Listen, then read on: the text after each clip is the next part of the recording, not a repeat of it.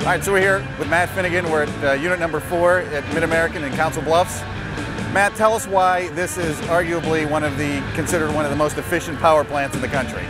Uh, I think Walter Scott unit number four, both from a heat rate perspective, so from a thermal efficiency perspective, and from the pollution control equipment that we have on the back end of our unit, we have one of the cleanest facilities in the U.S. in terms of emissions. Post-combustion control, okay, the, the combustion's already occurred, you've already created the steam, it's already gone through the turbine, you know, already created electricity.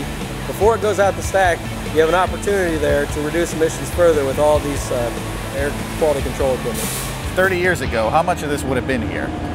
You'd virtually have none. You wouldn't you wouldn't necessarily have a scrubber unit, um, so no capacity to, to remove SO2. Uh, SCR probably not. Low NOx burners probably not. So your capacity to eliminate NOx is not near what it is on this unit. Um, you wouldn't have a bag house, which eliminate, helps eliminate SO2 and, and opacity for that matter. And you wouldn't have activated carbon injection for mercury control. So as far as the technology goes, it's advanced quite a bit in the last 20 years. What you have on Unit 4 is, is probably the cleanest plant in the nation, or at the very top of the nation in terms of controlling all four of those, opacity, uh, NOx, SO2, and mercury control.